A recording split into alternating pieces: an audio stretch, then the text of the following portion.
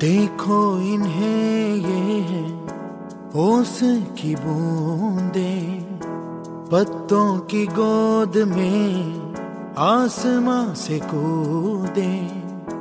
अंगड़ाई ले फिर करवट बदल कर, नाजुक से मोती हंस दे फिसल कर। खो न जाए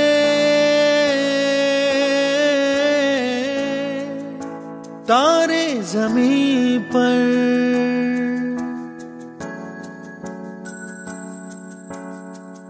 ये तो है सर्दी में धूप की किरणें। उतरे जो आँगन को सुनहरा सा करने। मन के